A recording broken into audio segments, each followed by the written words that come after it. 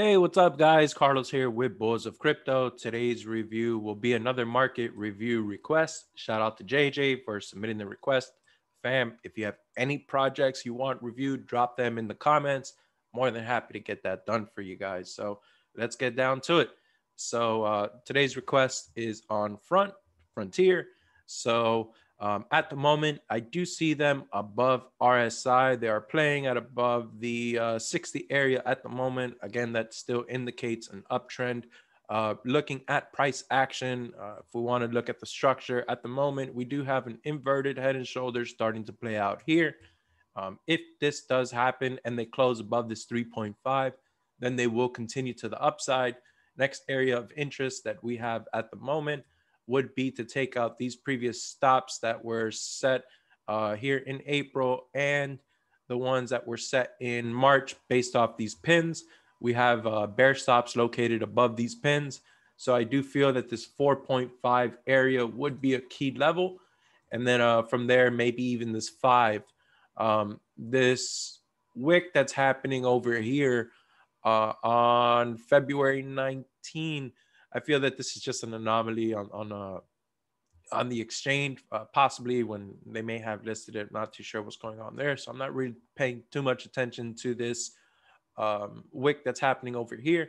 But at the moment, we do see RSI is in the in a bit of a uptrend, and uh, we want to see this starting to make uh, higher lows. Is exactly what's happening, meaning the market is continuously pushing upwards they're failing to break the low. They're making moves to the low, but failing to break. So here they created a low. They made a run.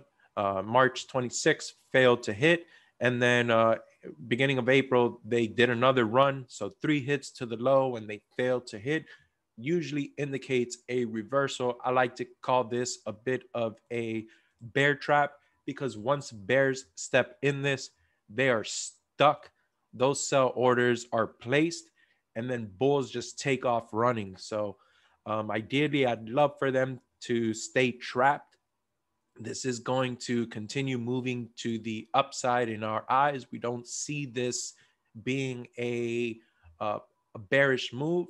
Um, it is a possibility that they drop. I mean, it is crypto, anything can happen. But at the moment, we feel that this is going to continue to the upside if for any reason they fail to break this 3.5 area.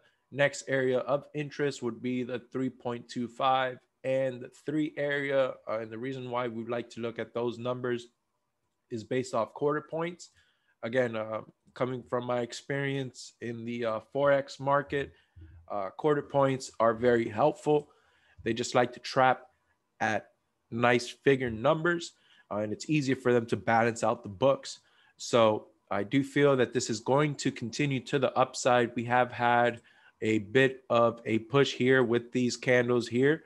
Um, and then we should have a bit of a pullback and then uh, continue to the upside. So let's see how this plays out. Again, our area of interest at the moment, just to make sure that these stops are taken out, will be this $5 area. They may hit this maybe middle uh, to uh, ending of April. So we'll see how this plays out. So, fam, if you have any projects you want reviewed, drop them in the comments. I'm more than happy to get that done for you guys. Make sure to subscribe, like, share, comment, tell a friend. When you do subscribe, I'm not sure if you guys know, but I'll help you out with this. There is a little bell that you have to click on in order to see the updates as soon as they drop. If you don't click that bell, you might miss the update. And worse, you might miss the bull run. So don't miss the bull run, guys. Make sure to smash that subscribe and turn on that bell. All right, guys. Until next time, thanks for watching. Peace.